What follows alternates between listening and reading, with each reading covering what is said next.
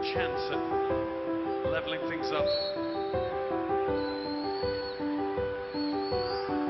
Coutinho, it's a cracker!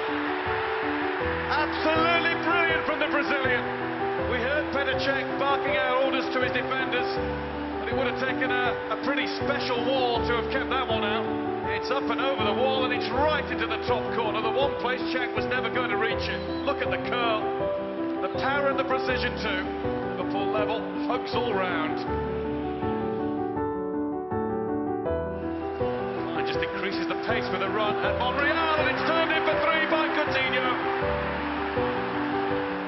What a goal from Liverpool!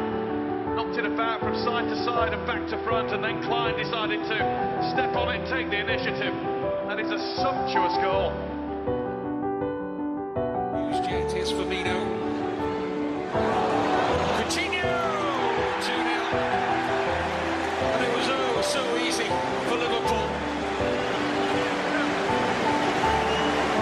Been talking about Derby not being able to sit off, otherwise they would be in trouble. And that's exactly what happened here. Too much time on the ball for Firmino to find the pass.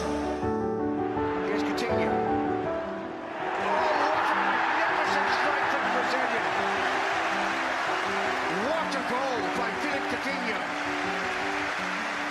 My goodness. You tell opponents faced with Coutinho, do not let him step onto his right foot within 25 yards. That's what Hull allowed him to do, and you just knew that if he was on target, he would score. forward for him, and it's now fallen to Mane. He's got Coutinho in support. Coutinho! Fabulously finished. And West Brom punished. 2 0 Liverpool. The season for Philippe Coutinho.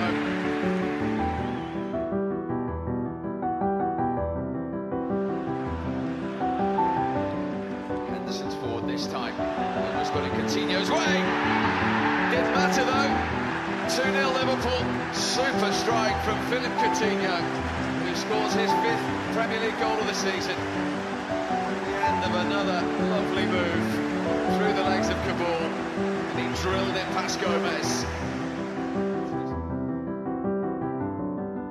shifting lane of. Oh, it's a lovely ball. Bursting through the middle. Look out! Driving. Ah!